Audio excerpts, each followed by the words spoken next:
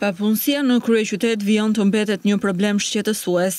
Sipas të dhënave të Instat rezulton se Tirana është një ndër katër qarqet me nivelet më të larta të papunësisë mbi mesataren për vendin. Durrësi, Tirana, Lezha dhe Vlora konsiderohen si rajonet që kanë nivelet më të ulëta të punësimit nën mesataren kombëtare. Në vitin dy mijë e tetëmbëdhjetë, sipas raportit statistikor për bashkitë, në total ka rreth pesëqind e dyzet e shtatë mijë njerëz të papunë në Shqipëri, baras me dymbëdhjetë pikë tre për qind të forcës totale të punës. Këto shifra paraqesin një ulje të konsiderueshme të papunësisë, në krahasim me tre vite më parë, ku niveli ishte pesëmbëdhjetë pikë dy për qind. Por, për Tiranën, papunësia mbetet sërish problem. Shkalla më e ulët e papunësisë rezulton se është përqendruar në qarkun e Dibrës dhe të Korçës, me pesë pikë nëntë për qind, ndërsa ajo më e larta është regjistruar në Vlorë ku një në pesë persona në forcë pune janë të papunë. Tirana është qarku me përqindjen më të lartë të punësimit në shërbime, ndërsa ka përqindjen më të ulët të punonjësve në bujqësi.